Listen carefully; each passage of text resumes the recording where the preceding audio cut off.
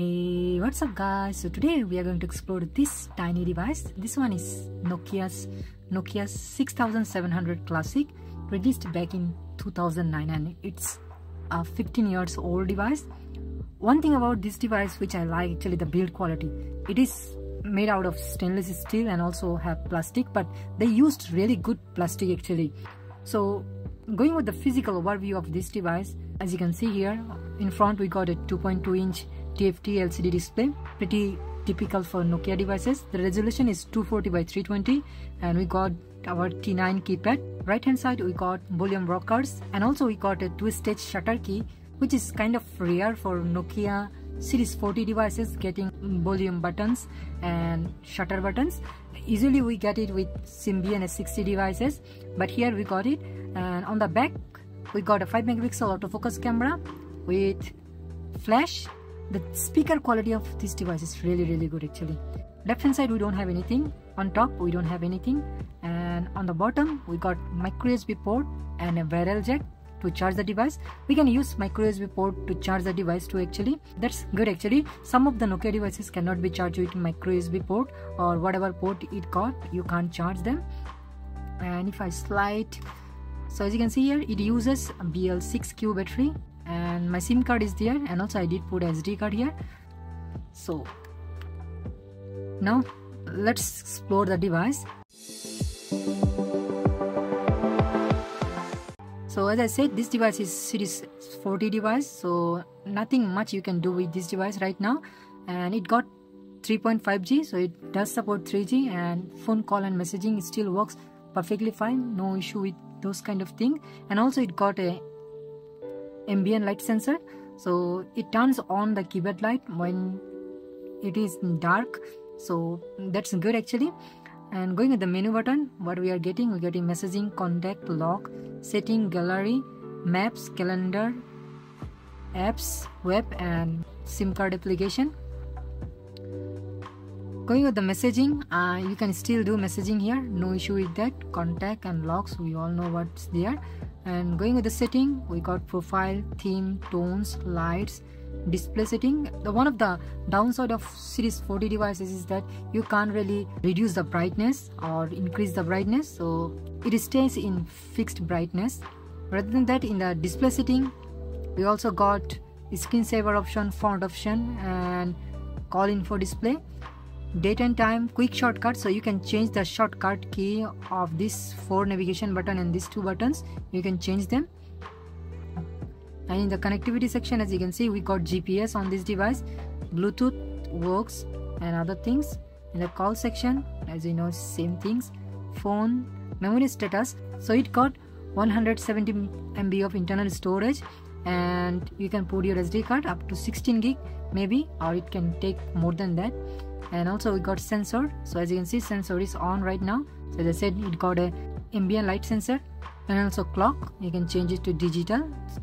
And there are a few other things. Phone updates doesn't work.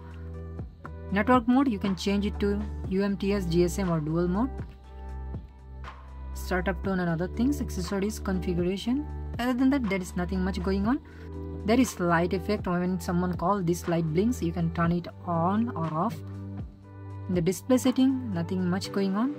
And if you want to change the theme you can change the theme on this device. So there are five pre-installed themes as you can see here. These themes are pre-installed. And I do have few other themes which I have downloaded. Going back in the tone setting we got all the tones. And if I go here Nokia tones option change. So open gallery. So we have 29 actually. So 20 of them ringtones and 9 of them alert tones. So all of them here actually.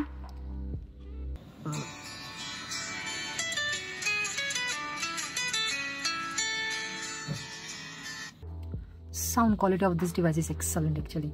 Beside that nothing much. Going back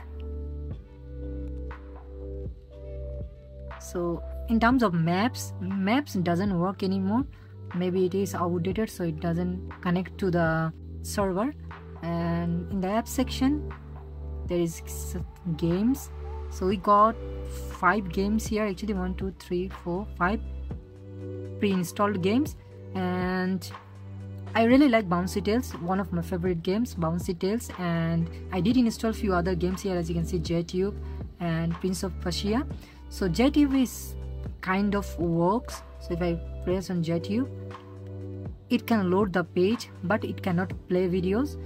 It would be awesome if it, it could play like YouTube videos because it's 15 years old and if it could play YouTube videos that would be awesome because some of the Windows phone even some of the Android phone now cannot play YouTube videos so now it is loading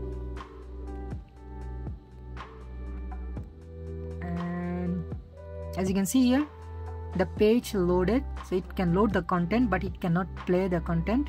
So if I try to play something as you can see just we are getting some error.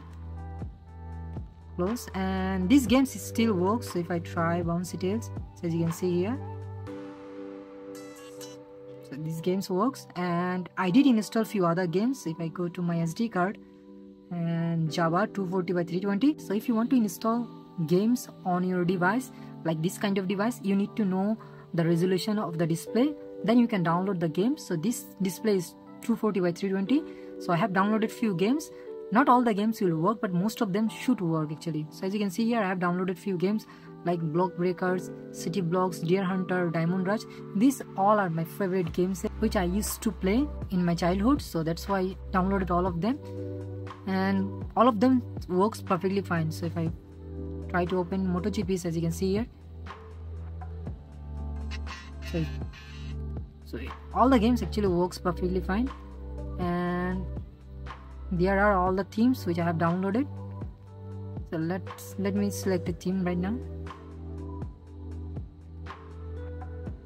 By the way these themes are not really made for this device so the icon will not be that great.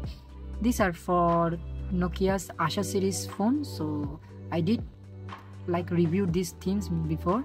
And in the collection section there are a few other things like Facebook, MySpace, YouTube. This doesn't work anymore. Only thing works Opera Mini. So if I open Opera Mini by the way you can still browse here actually although the browsing experience will not be that great but still you can browse. If I try to open Waptrick as you can see here the internet. And as you can see it can load the page without any kind of issue.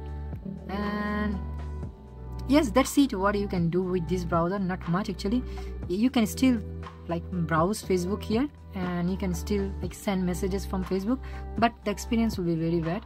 But other than that there is nothing much you can do with this device. For phone calls and messaging this is excellent device.